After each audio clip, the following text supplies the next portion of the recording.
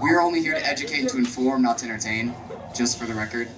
All right, now, how many of you guys out there know what Inception is? Um, The movie. you. The movie.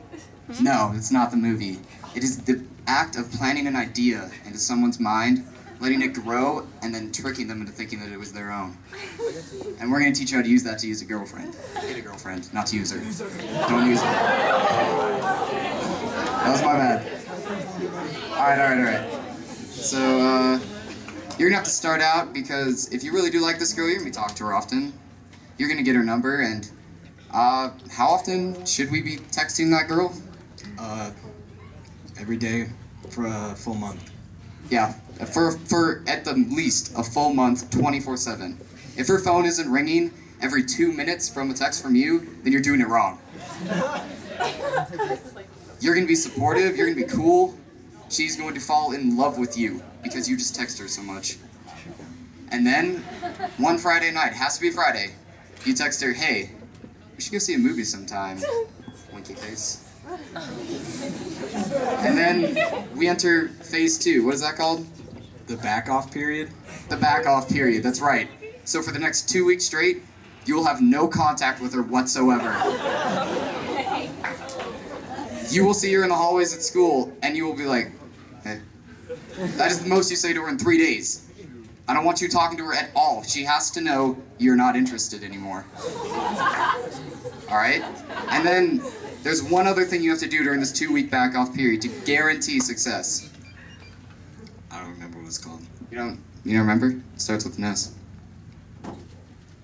It's called submission. and I know what you're thinking. No. Basically, all you guys out there, you wear Axe spray, Old Spice, Polo brand stuff. I don't know. You wear some kind of spray, right? Yeah?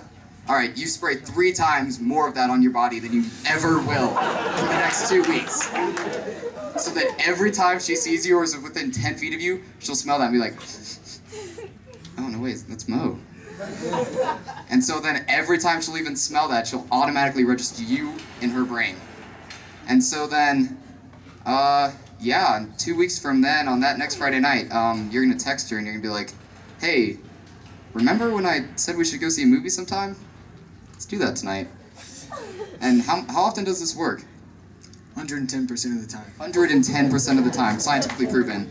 And now, I know what you're all wondering, how does this have anything to do with Inception? And the reason for that is because after a month of straight texting, you are her best friend. And the last thing you say to her is, hey, we should see a movie sometime, winky face. She will think about that every time she smells your cologne for the next two weeks, because that is the last thing you've ever said to her or even acknowledged her existence. Eventually, the idea will grow in her mind hey, I should see a movie with him sometime. And she'll build up the courage to say yes and be like, hey, we should go out sometime. So when you finally ask her, it's pretty much like she asked you out, right? Yeah.